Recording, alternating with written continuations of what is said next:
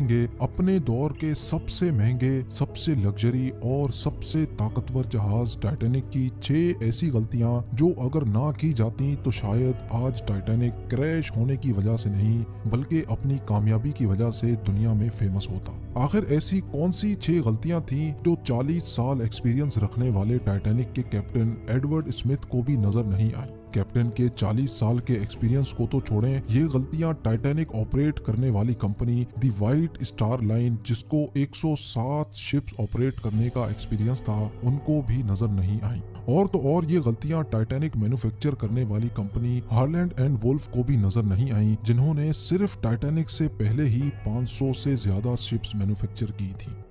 Titanic की construction 1907 में शुरू हुई थी और तकरीबन तीन साल का वक्त और 2000 वर्कर्स की मेहनत के बाद जहाज़ को तैयार कर लिया गया। अब जहाज़ पूरी तरह से तैयार हो चुका था, लेकिन इसको टेस्ट करने का फ़ेज़ अभी बाकी था। टाइटैनिक बनाने वालों का उस पर भरोसा तब मजीद बढ़ गया जब टाइटैनिक ने अपना पहला टेस्ट रन कामयाबी से पार कर लिया था। टेस्ट पास करते ही पूरी दुनिया में मुख्तलिफ़ अखबार में इसकी मार्केटिंग की गई, जिसकी हेडिंग थी अनसिंकेबल टाइटैनिक, यानी कभी ना डूबने वाला जहाज़ बना लिया गया है। जहाज़ का पहला सफ़र इंग्लैंड के शहर साउथ हेम्पटन से शुरू होना था, जिसका दिन 10 अप्रैल 1912 मुकर्र किया गया, और जिसकी मंजिल अमेरिका का शहर न्यूयॉर्क थी। टाइटैनिक के इकोनॉमी पोर्शन में सफ़र करने की कीमत 30 डॉलर जबकि फ़र्स्ट क्लास में सफ़र करने की 150 डॉलर थी, जो आज के दौर में तीन लाख चालीस हज़ार रुपए बनते हैं। इस मार्केटिंग के नतीजे में यकायक सारी टिकट्स बुक कर ली गईं और आखिरकार वो दिन आ ही गया जब टाइटैनिक अपने पहले सफ़र का आगाज़ करने वाली थी मिस्टेक नंबर वन दोपहर को ठीक 12 बजे टाइटैनिक ने अपने पहले सफ़र का आगाज़ कर दिया और साथ ही टाइटैनिक की गलतियाँ सामने आना शुरू हो गईं। कैप्टन स्मिथ को मालिकान की तरफ़ से डेडलाइन मिल चुकी थी कि किसी भी सूरत में 17 अप्रैल तक, यानी सिर्फ़ सात ही दिनों में न्यूयॉर्क पहुँचना है इसी वजह से कैप्टन ने जहाज़ जहाज़ की रफ्तार शुरू से ही बहुत तेज रखी थी और यही थी टाइटैनिक की सबसे पहली गलती। कैप्टन स्मिथ को मालिकान की दी गई इंस्ट्रक्शंस और प्रेशर की वजह से न्यूयॉर्क जल्द से जल्द पहुँचना था, क्योंकि ये टाइटैनिक का पहला सफ़र था और अगर वो न्यूयॉर्क टाइम से ना पहुँचते तो टाइटैनिक की रेपुटेशन को काफ़ी नुकसान होता। दुनिया की कोई भी गाड़ी हो, मशीन या फिर जहाज़, उनके कई ऑपरेटिंग प्रोसीजर्स होते हैं, जिनमें स्पीड लिमिट भी इन प्रोसीजर्स का एक पार्ट होता है, और वो पार्ट टाइटैनिक के सफ़र के आगाज़ में ही वायोलेट किया गया था। थोड़ी ही देर में जहाज़ साउथ हेम्पटन के पोर्ट को इतना पीछे छोड़ गया कि अब दूर दूर तक नीले समंदर के अलावा कुछ नज़र नहीं आ रहा था। मिस्टेक नंबर टू अब टाइटैनिक को चलते हुए तीन दिन गुजर चुके थे। फ्रांस और आयरलैंड में थोड़ी देर के स्टॉप के अलावा टाइटैनिक पिछले बहत्तर घंटों से मुसलसल न्यूयॉर्क की तरफ़ बढ़ता चला जा रहा था। ये 14 अप्रैल 1912 की शाम थी। समंदर पर हर तरफ़ खामोशी और धुंध छाई हुई थी, जिसकी वजह से विजिबिलिटी भी काफ़ी कम हो चुकी थी। उसी रात एक और बहरी जहाज़, जो कि टाइटैनिक से कुछ घंटे ही आगे था, उसके कैप्टन ने वायरलेस पर टाइटैनिक को समंदर पर तैरती हुई चटाने यानी आइसबर्ग्स के बारे में वार्निंग दी थी। एक्सपर्ट्स का मानना है कि ये वार्निंग कम से कम भी छह बार दी गई थी। लेकिन वायरलेस ऑपरेटर्स की कोताही की वजह से इंतहाई इम्पोर्टेंट वार्निंग्स इनसे मिस हो गई। उनके लिए शायद ये नॉर्मल बात थी, लेकिन यही थी टाइटैनिक के अमले की दूसरी गलती। क्योंकि टाइटैनिक अपने तर्ज का पहला लग्जरी जहाज़ था और इसमें कई वी भी मौजूद थे। इसी वजह से ज़्यादातर टाइटैनिक का अमला फ़र्स्ट क्लास पैसेंजर्स की खिदमत में मसरूफ था। अगर इन वार्निंग्स को सीरियस लिया जाता तो आगे का पूरा सीन ही अलग होता।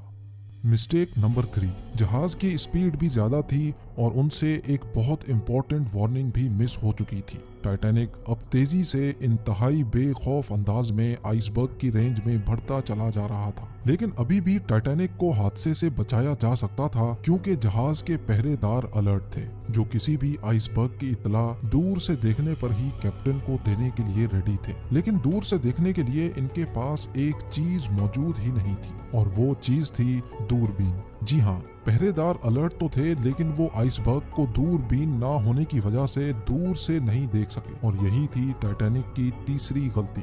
आइसबर्ग की खबर कैप्टन स्मिथ को उस वक्त हुई जब जहाज़ के पहरेदारों ने खबर दी कि जहाज़ के बिल्कुल सामने एक फुटबॉल फ़ील्ड की साइज़ जितना आइसबर्ग है। लेकिन अब बहुत देर हो चुकी थी, क्योंकि आइसबर्ग इंतहाई करीब आ चुका था।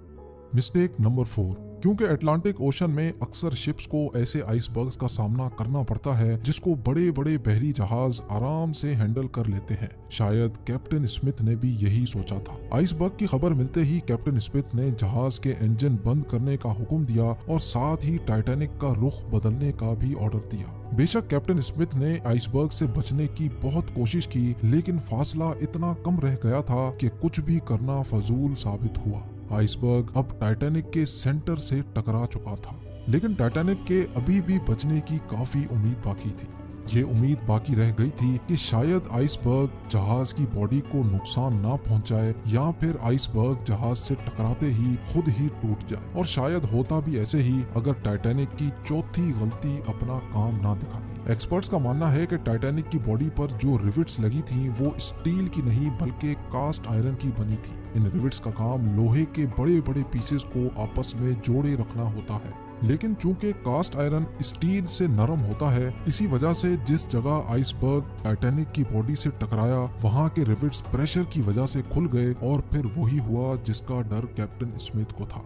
मिस्टेक नंबर फाइव टाइटैनिक की टक्कर एक फुटबॉल फ़ील्ड जितने बड़े आइसबर्ग से हो चुकी थी और अब जहाज़ के निचले हिस्से में पानी भरना शुरू हो चुका था। इस खतरनाक तसादुम ने पूरे अमले और पैसेंजर्स को अलर्ट कर दिया था और साथ ही जहाज़ में मौजूद टाइटैनिक के मालिक जोसेफ ब्रूस को भी। बेशक टाइटैनिक में पानी भरना शुरू हो गया था, लेकिन अभी भी टाइटैनिक के बचने की उम्मीद बाकी थी, क्योंकि टाइटैनिक को ऐसे डिज़ाइन किया गया था कि अगर इसके तीन फ्लोर्स में पानी भर भी जाए, फिर भी ये नहीं डूब सकता। लेकिन बदकिस्मती थी इस जहाज़ की कि तीन फ्लोर्स को क्रॉस करके पानी अब चौथे फ्लोर तक जा पहुँचा था। अब मामला हाथ से निकल चुका था। टाइटैनिक आहिस्ता आहिस्ता ओशन में डूबता जा रहा था। अब जहाज़ की फ़िक्र किए बगैर इसमें मौजूद पैसेंजर्स की जान बचाने का वक्त आ चुका था। कैप्टन स्मिथ ने रेडियो पर इमरजेंसी अलर्ट जारी कर दिया। जब तक कोई मदद के लिए आता, तब तक पैसेंजर्स को लाइफ बोट्स में शिफ्ट करने का प्लान किया गया। लेकिन इस मौके पर पांचवी गलती ने अपना काम दिखा दिया। जी हाँ जहाज़ में टोटल 32 लाइफ बोट्स की जगह थी, लेकिन कोताही की वजह से सिर्फ़ 20 बोट्स ही रखी गई थी। पैसेंजर्स थे 1500 और बोट्स थी सिर्फ़ 20 मिस्टेक नंबर सिक्स हर तरफ़ अफरा तफरी का आलम था और हर शख्स उन चंद गिनी चुनी कश्तियों में सवार होना चाहता था। बारह बज के पैंतालीस मिनट पर पहली इमरजेंसी कश्ती समंदर में उतारी गई, लेकिन यहाँ हुई एक और छठी गलती।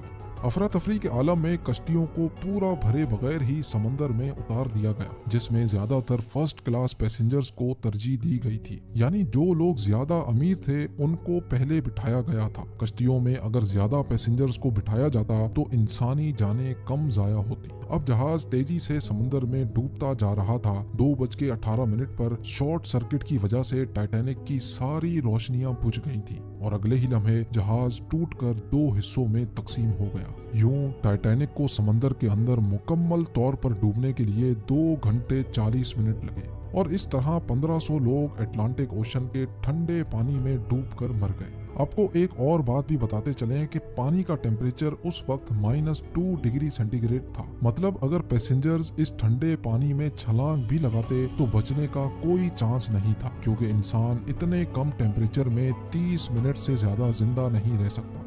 कहा जाता है कि मरने वालों की तादाद 1500 से भी काफ़ी ज़्यादा थी, क्योंकि जिन लोगों की जहाज़ के अमले से जान पहचान थी, उनमें से काफ़ी लोग जहाज़ पर बगैर टिकट सवार हुए थे।